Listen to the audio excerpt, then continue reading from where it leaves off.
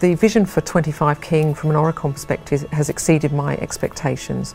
We were hoping to create an unconventional building that would be attractive for our staff and our clients and it's certainly been that. For me as a structural engineer, uh, my vision uh, has been realised just in the fact that, that you can walk around and, and see the beautiful structure.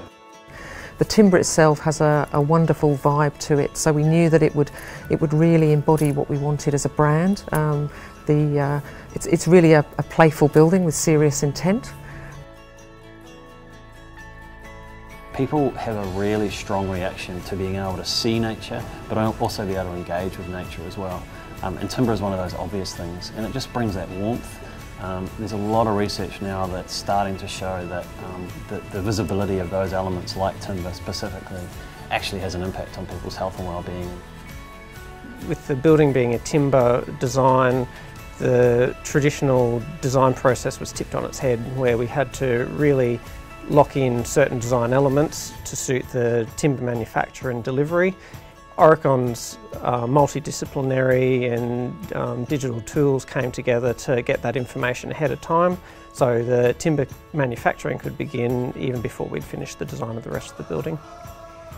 We have designed the building with a focus on collaboration, so lots, so many different spaces for staff to meet, uh, both formally and informally, different types of meeting spaces and staff hubs, and we're really seeing that come to fruition already with, with staff loving to use those different spaces. We've had a real focus on health and wellness as well. So firstly, the timber building itself is, is a fundamental part of that and how humans uh, react to biophilia, to, to, to, natural materials like timber and plants. Um, and you will see them scattered throughout the building. Well, we started by passively designing the building. So actually thinking about which way is the building facing, where is the sun coming from, what sort of heat gains are we going to get in this building, and hence the design of the glazing system and the shading that's on the building to reduce that amount of heat that's coming into the building. I, I, love the fact that, that when you look around and you see people walking into the building, staff and, and even just people that come to the building, the first thing they do is they walk over and they touch, touch the, the columns or the, the braces. Um, I think people are excited to be here. I think that the calming effect of the timber, people seem to be happy uh, and relaxed. We feel that 25 King is a real differentiator for us.